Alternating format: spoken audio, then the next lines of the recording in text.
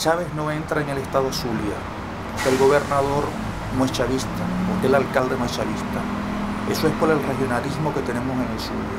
Regionalismo es que nos amamos a nosotros mismos y nos defendemos a nosotros mismos. Defendemos nuestras costumbres y somos quien somos, zulianos.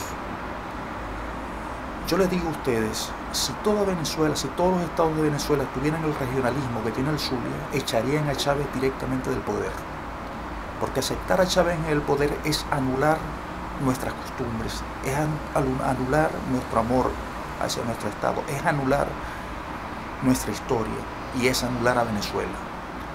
Por eso yo les digo, sigan el regionalismo del Zulia, que en el Zulia jamás entrará Hugo Chávez en el poder, porque los zulianos quieren su Estado, porque los zulianos defienden su historia y porque los zulianos no dejan de ser zulianos, tienen su propia personalidad de zulianos y nadie les va a lavar la cabeza.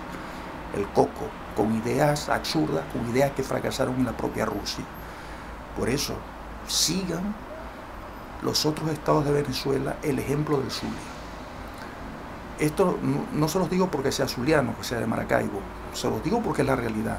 Cuando uno se ama a uno mismo, uno evita que otros le agredan.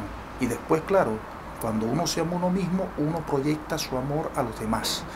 Pero si uno no reconoce lo que es uno, uno jamás reconocerá a los demás y jamás se reconocerá a sí mismo.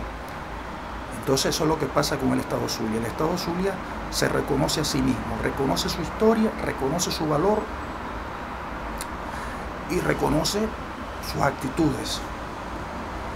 Entonces por ser así, el Estado Zulia puede proyectar un ejemplo de valores hacia la democracia venezolana, porque respeta sus propios valores, porque respeta a Venezuela y porque respeta a sus ciudadanos. Si no fuera así, el Estado Zulia sería, bueno, un Estado de los tantos que hay en Venezuela, que hay 20, y, eh, los 19 restantes. Y entonces, claro, no, no daría ese ejemplo a Venezuela. Por eso yo les recomiendo que sigan el nacionalismo del Estado Zulia para echar a Chávez, a Hugo Chávez Frías, fuera de Venezuela.